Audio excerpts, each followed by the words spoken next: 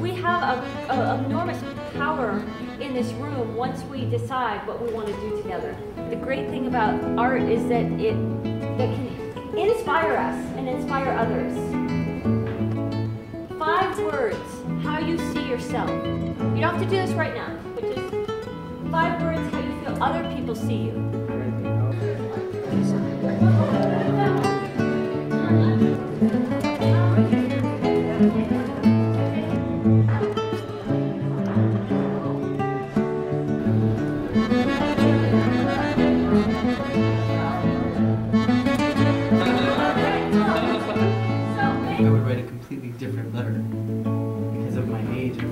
Yourself. You have to love that process of discovering something. So, how do you convey the love? I think is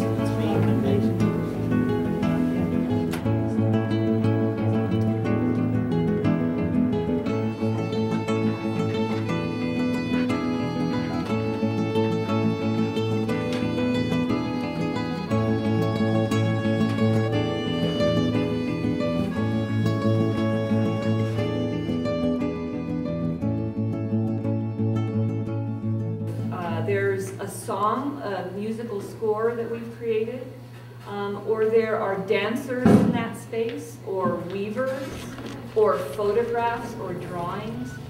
And so that someone walks into the room and sees the film and hears the soundtrack and the words and experiences that story in all these different ways.